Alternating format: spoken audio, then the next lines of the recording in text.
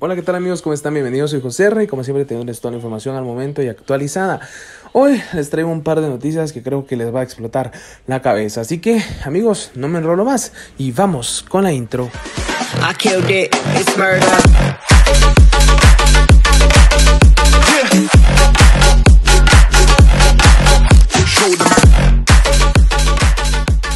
¿Qué tal amigos? ¿Cómo están? Espero que estén muy bien. Soy José Rey como siempre teniéndoles toda la información al momento y actualizada.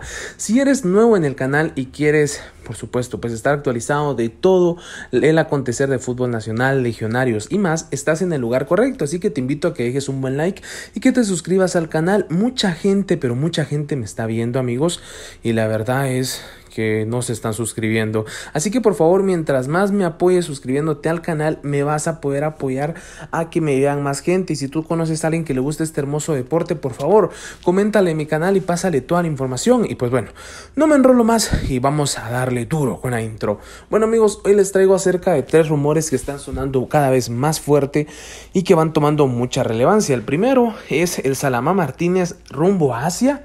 Así como lo escuchan, el Salama Martínez pues tendría lo que es una oferta eh, por parte del, continente asiático, específicamente en Indonesia. El delantero de 29 años de edad actualmente juega en la Liga Nacional en el equipo de Guastatoya, donde pues ha alcanzado el triunfo ganando varias veces el campeonato local. En una entrevista hace un par de semanas, el jugador mencionaba que ha tenido ofertas de la USL, pero que por temas económicos no ha podido acceder a estas ofertas. Ustedes lo pueden ver hace unos videos en el canal.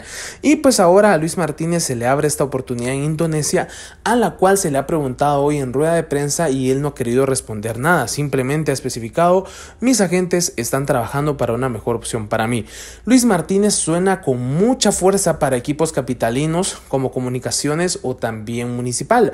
Sin embargo, él en varias ocasiones expresado su deseo de salir al extranjero y desde aquí esperamos que eso pueda hacer que de verdad él pueda salir al extranjero y así pueda estar totalmente afianzado como el legionario. Él lo reconoce, sabe que tiene una edad y que es ser ahora o nunca, que él se juega ahora o nunca el ser un legionario. Así que Luis Martínez le deseamos todo lo mejor. Él tiene ventaja de salir a Estados Unidos porque tiene pues pasaporte estadounidense y pues por allá eh, se le haría más fácil trabajar.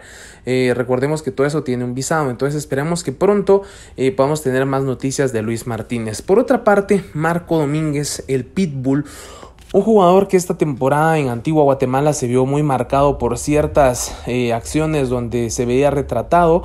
Recordemos que él venía saliendo de una lesión y que era que no, pues el volver a estar al 100% le ha costado. En las últimas fechas se vio bastante bien.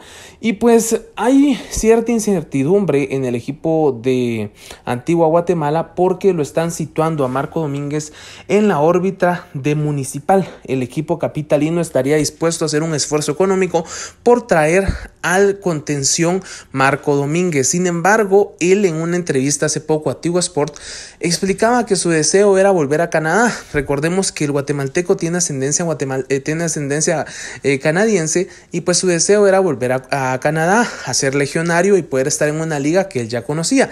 Sin embargo, este interés de Municipal podría estar estorbando un poco en la cabeza al jugador y podría e incluso convencerlo en que se quede acá a Guatemala. Muchos han pensado que es una mala idea porque realmente él está acá eh, desde hace muchos años. Eh, su deseo es salir al extranjero y tiene buen nivel para representarnos. Esta información es vía el Tiki Taka. Por otra parte, amigos, hoy se jugó lo que fue un partido de preparación por parte de la sub-20 femenina. ¿Y esto por qué Joserra? Bueno, muchas personas me han dicho, Joserra, es que no se está trabajando en canteras, eh, ¿por qué se está yendo a rogar a jugadores que no son, no son 100% guatemaltecos? Y es porque anteriormente no se estaba trabajando en fuerzas menores. Eh, ahora se ha visto una mejora por parte de la FedeFoot trayendo microciclos y este microciclo fue un partido amistoso entre la sub-20 nacional contra el equipo de municipal.